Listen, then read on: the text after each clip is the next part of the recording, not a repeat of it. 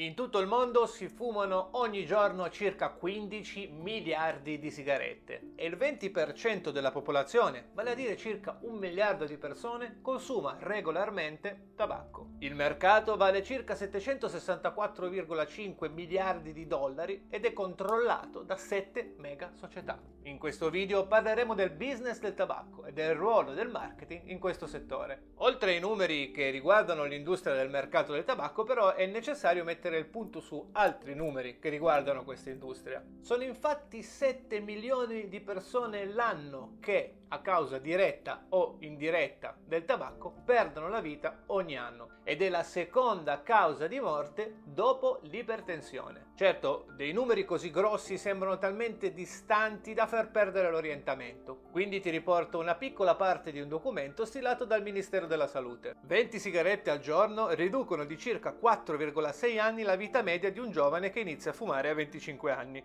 ovvero per ogni settimana di fumo si perde un giorno di vita. Ripeto, per ogni settimana di fumo si perde un giorno di vita. I numeri hanno sempre il potere di confondere oppure di rendere più specifiche le cose. E oltre ai danni alla salute delle persone si hanno anche i danni ambientali delle sigarette, cosa che si tende a non tenere molto in considerazione. Ma soltanto le piantagioni di tabacco occupano 4,5 milioni di ettari di terreno coltivabile, ma il danno maggiore lo si ha dai rifiuti delle sigarette, dai mozziconi lasciati in terra. Solo in Italia, e ripeto solo in Italia che è uno stato molto piccolo rispetto a tutto il mondo, vengono prodotti 72 miliardi di rifiuti di mozziconi di sigarette. E tutto questo abbandonati in strade, spiaggia, in mare, senza alcun tipo di precauzione. Ti leggo nello specifico quello che rilasciamo nell'ambiente con i mozziconi. Più di 20 tonnellate di gas tossici, 1800 tonnellate di composti organici volatili, oltre 1400 tonnellate di catrame condensato, 1872 berquel di polonio 210 e 12.240 tonnellate di acetato di cellulosa.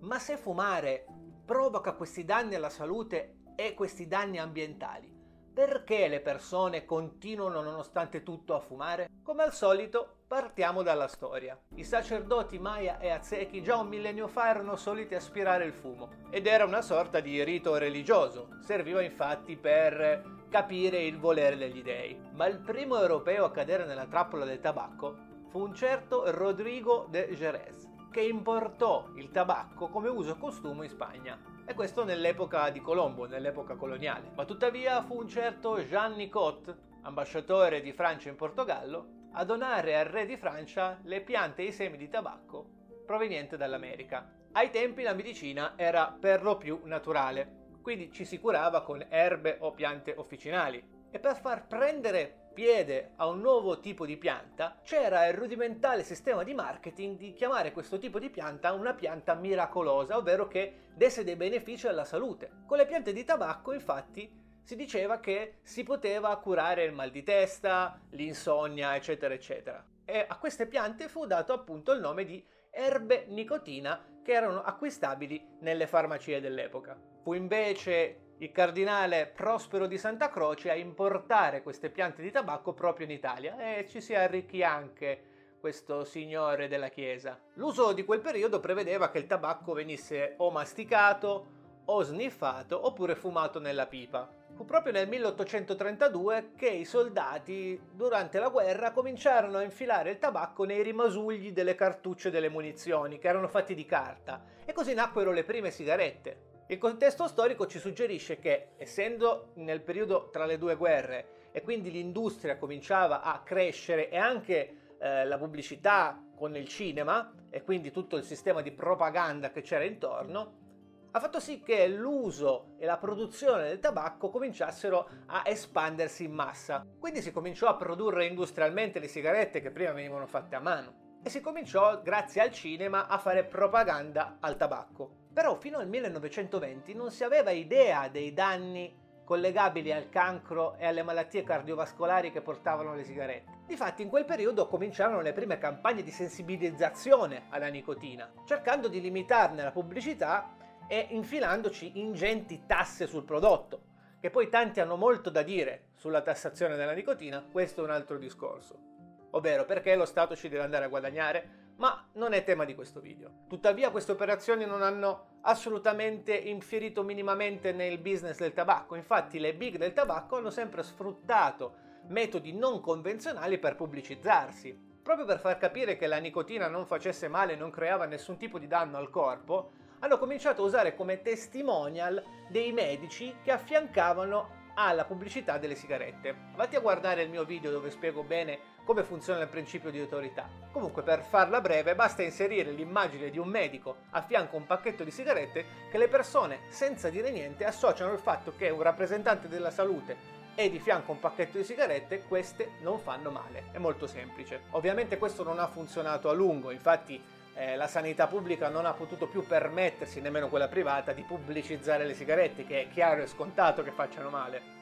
E quindi il marketing delle sigarette ha puntato più al fatto che fumare facesse figo. Quindi anche se fa male non importa perché fumare è cool. E le persone se ne fregano perché pur di essere belle, apparire e accettate dalla società vanno anche contro la loro stessa salute una cosa un po' strana ma che comunque accomuna tutte le persone e tutte le società. Famosissimo è l'uomo della Marlboro, Wayne McLaren, che pubblicizzava sempre questa sua immagine da duro con la sigaretta in bocca nel reclam della pubblicità della Marlboro. Sfortunatamente anche il buon Wayne McLaren, molto duro, morì di cancro ai polmoni nel 1992. Quindi ahimè la sua pubblicità non era molto veritiera. Però comunque con il fatto che fumare fosse una cosa da veri uomini duri e col messaggio contrario che non fumare è una cosa da femminucce, tutte le persone cercavano di fumare per darsi un tono, anche se eh, fumare non piace, anzi addirittura no, noi possiamo dire che a nessuno piace iniziare a fumare, lo si fa solo per darsi un tono, questa è una cosa normale.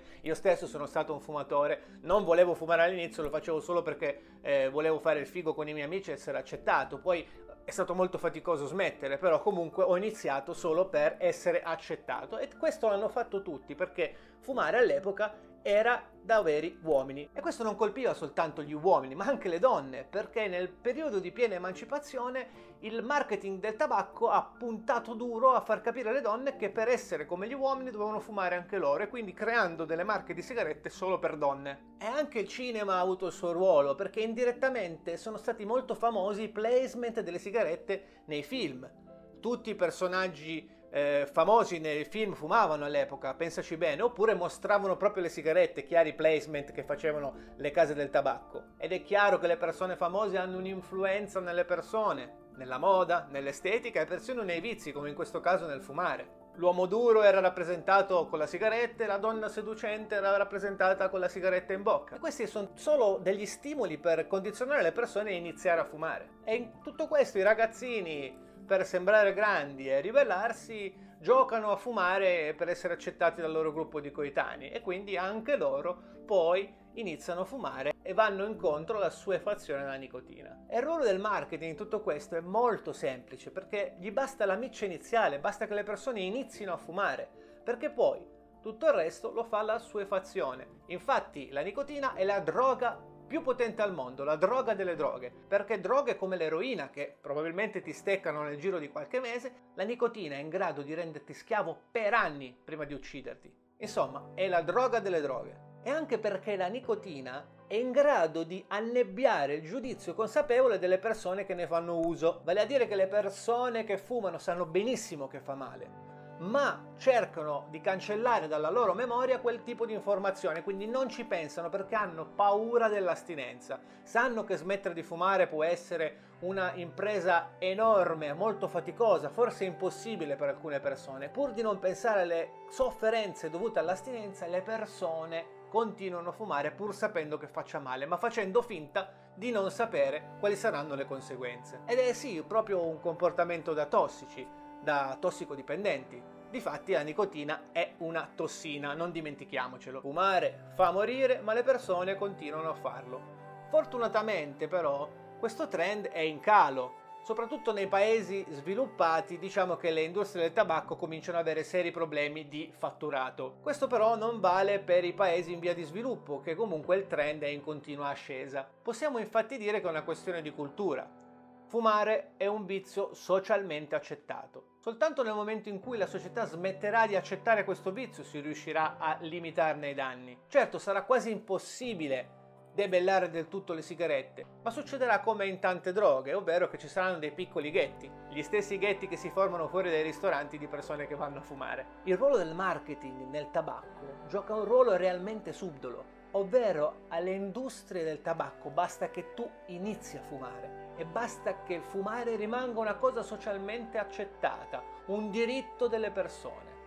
Tutto il resto lo fa la dipendenza.